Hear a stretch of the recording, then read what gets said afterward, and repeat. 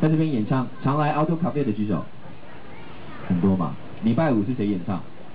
哪一个乐团？你骗人！你说你常来？啊啊？我说礼拜五啦。啊，你说礼拜三来的啊？五六日常来的举手。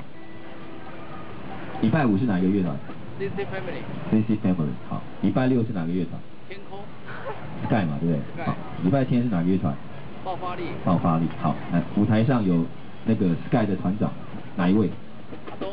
啊，哎，你阿东讲几句话？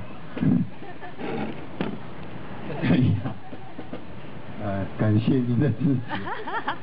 所以大家都知道，在这边其实每个礼拜的五六日都会有乐团的表演，当然礼拜三也会有各各式各样不同。礼拜三你都来听谁唱？听阿本唱是吧？好来，对，来阿本介绍一下来。阿本，你的组合叫什么名字？啊，礼拜三的时候记得来这边听汉堡乐团，就我跟小齐。好，刚刚有提到 Sky，还有提到汉堡乐团。好，爆发力，舞台上有两位是爆发力的成员，知道的举手。那个回答过就不要回答。你们平常都没有来 Auto Cafe 哦，今天第一次来的举手。这不是什么值得骄傲的事，就不用喊这边，好吧？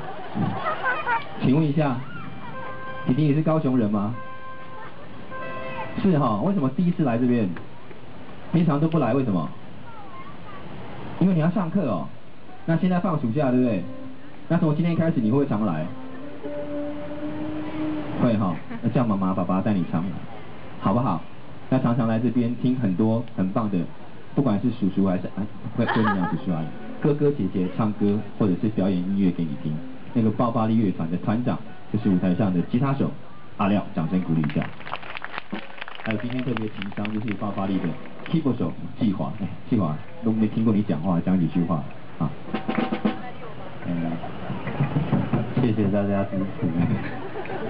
其实爆发力的知名度越来越高了哈，那是因为很多原因哦，爆发力的知名度越越来越高，其实有有有蛮大的原因，是因为他们的啊，除了他们音乐本身做得很好，很认真的在演唱很多脍炙人口的歌曲之外。主要是因为他们的两位主唱现在都是知名的公众人物，来，喜欢林中心的给他掌声鼓励一下好不好？他多亲爱，他本人在现场。好，那喜欢琪琪、张琪伦的给他掌声鼓励一下好不好？这两位都是唱的很棒的年轻才俊，然后因为。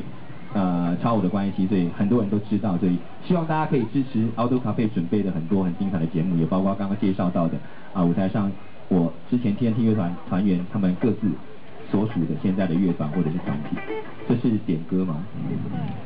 长城谣想到爱是什么鬼？是什么歌啊？你有听过吗？爱是什么鬼？萧红人的。哦，萧红人，对不起。他的歌我只熟两首，第一首他第一主打跟那个还有什么王宝钏苦守寒窑十八年，活动常遇到他，请不要跟他讲他的歌我不会唱，这样我会不好意思。长城谣，哎，你会弹长城谣吗？不会啊，嗯，郭姐会弹长城谣吗？你弹，你真的会弹？哪哪一位点长城谣？为为什么要点长城谣？你什么时候听我唱歌？有吗？黄国人的异想世界。哦。那个一百台以后的都还听得到，还有人看。